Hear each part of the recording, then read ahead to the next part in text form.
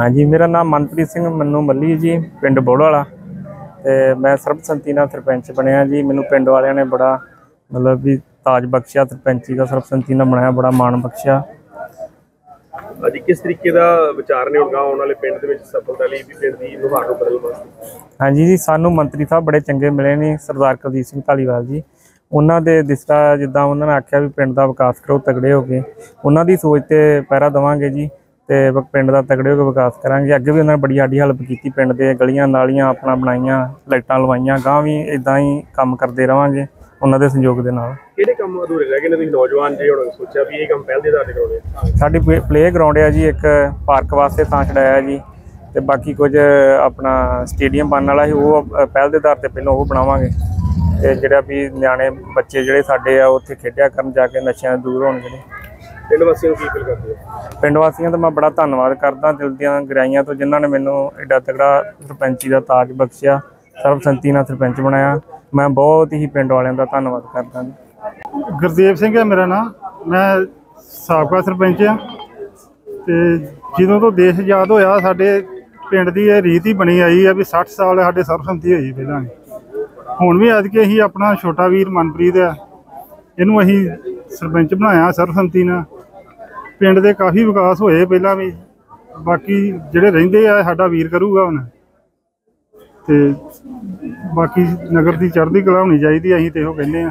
ਕਿੰਨਾ ਕੁ ਵਧੀਆ ਉਪਰਾਲਾ ਜੀ ਸਰਬਸੰਮਤੀਆਂ ਹੋਣੀਆਂ। ਕੀ ਲੱਗਦਾ ਕਿ ਲੋਕ ਵੱਡੇ ਖਰਚਿਆਂ ਤੋਂ ਬਚ ਜਾਂਦੇ ਆ ਨਸ਼ਿਆਂ ਤੋਂ ਬਚ ਜਾਂਦੇ ਆ? ਹਾਂਜੀ ਬਹੁਤ ਵਧੀਆ ਉਪਰਾਲਾ ਜੀ ਇਹ। ਨਸ਼ਿਆਂ ਤੋਂ ਵੀ ਬਚਦੇ ਆ ਸਾਡਾ ਖਰਚੇ ਵੀ ਘੱਟ ਹੁੰਦੇ ਆ ਪਿੰਡ 'ਚ ਵੈਰ ਵਿਰੋਧ ਨਹੀਂ ਹੁੰਦੇ ਕੋਈ।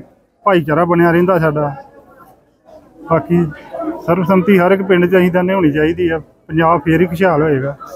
ਕੀ ਨਾਂ ਆ ਤੇ ਇੰਦਰਪਾਲ ਸਿੰਘ ਜੀ ਸਾਬਕਾ ਸਰਪੰਚ। ਅੱਜ ਕੀ ਕਹਿਣਾ ਚਾਹੁੰਦੇ ਹੋ? ਅੱਜ ਮੱਲੀ ਸਾਹਿਬ ਨੂੰ ਬਣਾਇਆ ਸਰਪੰਚ ਹਾਂਜੀ ਮੱਲੀ ਸਾਹਿਬ ਨੇ ਹੁਣ ਕੰਮ ਕਰੂਗਾ ਜਿਹੜੇ ਰਹਿ ਗਏ ਨੇ ਜੀ ਅੱਗੇ ਵੀ ਕੰਮ ਤੇਰੇ ਹੋਏ ਨੇ।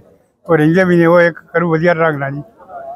ਕਿਹੜੇ ਕੰਮ ਸੋਚੇ ਨੇ ਜਿਹੜੇ ਇਹਨਾਂ ਕੋ ਪਹਿਲ ਦੇ ਆਧਾਰ ਤੇ ਕਰਾਉਣੇ ਆ ਜੀ? ਇੱਕ ਤਾਂ ਗਲੀਆਂ ਨਾਲੀਆਂ ਤਕਰੀਬਨ ਬੜੀਆਂ ਜਿਹੜੀਆਂ ਰਹਿੰਦੀਆਂ ਉਹ ਵੀ ਬਣਾਉਣਗੇ। ਕੁਝ ਸਟੇਡੀਅਮ ਦਾ ਕੰਮ ਆ ਉਹ ਛੱਪੜ ਦਾ ਕੰਮ ਆ ਜੀ।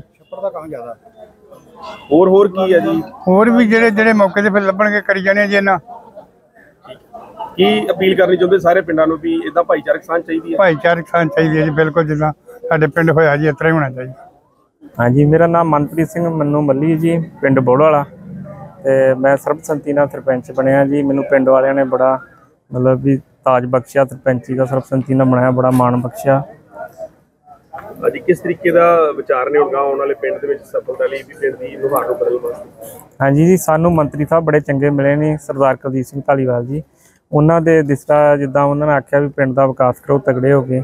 ਉਹਨਾਂ ਦੀ ਸੋਚ ਤੇ ਪਹਿਰਾ ਦੇਵਾਂਗੇ ਜੀ ਤੇ ਪਿੰਡ ਦਾ ਤਗੜੇ ਹੋ ਕੇ ਵਿਕਾਸ ਕਰਾਂਗੇ। ਅੱਗੇ ਵੀ ਉਹਨਾਂ ਨੇ ਬੜੀ ਸਾਡੀ ਹੈਲਪ ਕੀਤੀ ਪਿੰਡ ਦੇ ਗਲੀਆਂ ਨਾਲੀਆਂ ਆਪਣਾ ਬਣਾਈਆਂ ਲਾਈਟਾਂ ਲਵਾਈਆਂ ਗਾਂ ਵੀ ਇਦਾਂ ਹੀ ਕੰਮ ਕਰਦੇ ਰਵਾਂਗੇ ਉਹਨਾਂ ਦੇ ਸੰਯੋਗ ਦੇ ਨਾਲ। ਕਿਹੜੇ ਕੰਮ ਅਧੂਰੇ ਰਹਿ ਗਏ ਨੇ ਤੁਸੀਂ ਨੌਜਵਾਨ ਜੇ ਹੁਣ ਸੋਚਿਆ ਵੀ ਇਹ ਕੰਮ ਪਹਿਲ ਦੇ ਆਧਾਰ ਤੇ ਆ? ਸਾਡੀ ਪਲੇ ਗਰਾਊਂਡ ਹੈ ਜੀ ਇੱਕ ਪਾਰਕ ਵਾਸਤੇ ਥਾਂ ਛਡਾਇਆ ਜੀ ਤੇ ਬਾਕੀ ਕੁਝ ਆਪਣਾ ਸਟੇਡੀਅਮ ਬਣਨ ਵਾਲਾ ਸੀ ਉਹ ਪਹਿਲ ਦੇ ਆਧਾਰ ਤੇ ਪਹਿਲਾਂ ਉਹ ਬਣਾਵਾਂਗੇ।